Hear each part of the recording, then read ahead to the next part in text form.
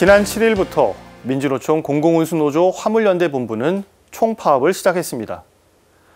언론에서는 물류 대란이나 수출 차질 등 파업의 부정적 결과만이 부각되기도 하지만 이번 파업의 핵심 이슈는 바로 안전운임제 지속 여부입니다. 안전운임제는 화물운수 노동자를 위한 일종의 최저임금 같은 제도입니다.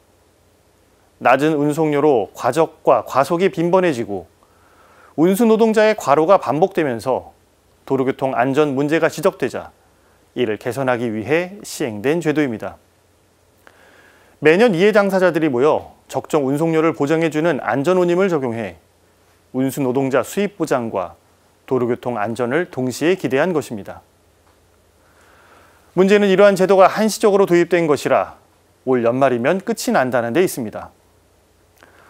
노조 측은 법 개정을 통해 안전운임제를 지속하고 대상도 현행 컨테이너와 시멘트 운송만이 아니라 모든 화물 운송으로 확대 적용하자는 입장입니다. 반면 운송을 발주하는 기업 입장에서는 안전운임제로 국내 육상 물류비가 크게 올랐고 한시적이었던 제도인 만큼 제도의 정확한 효과와 산업계 전반의 영향을 두루 평가해야 한다는 입장입니다. 그렇다면 정부는 어떤 생각일까요? 우선 정부는 원론적인 입장을 밝히면서도 은근히 공을 국회에 떠넘기는 모습처럼 보입니다. 안전운임제 지속 여부는 국회 입법 사안이기에 다양한 논의가 국회 안에서 이루어져야 함을 지적합니다.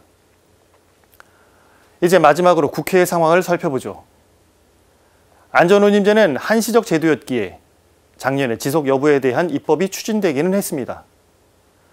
그러나 지금 우리 국회의 관심은 이런 민생 법안에 있지 못한 것이 문제입니다.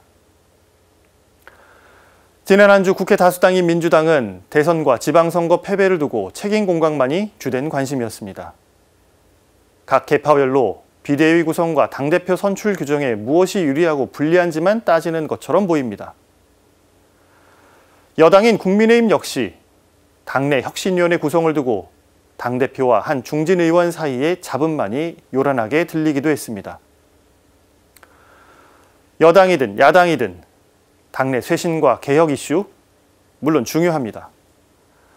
그러나 앞서 보신 화물연대 파업뿐만이 아니라 대선 기간 동안 뜨거웠던 코로나19 극복 정책들, 연일 치 솟는 고물가 대응, 그리고 북한의 미사일 발사와 핵실험 위험 등 다양한 난제 해결을 위한 논의의 장 역시 국회라는 사실은 부정할 수 없습니다. 결국 화물연대 파업도 그러하겠지만 정치의 가장 큰 역할은 다양한 갈등과 이해관계를 조정하고 그 해법을 마련하는 것입니다. 민주당도 국민의힘도 당내 권력 투쟁에만 에너지를 쏟는다면 이를 바라보는 국민의 시선은 결코 곱지만은 않을 것입니다. 오늘 사제의 노는 화물연대 파업 언제쯤 해결하시렵니까? 입니다.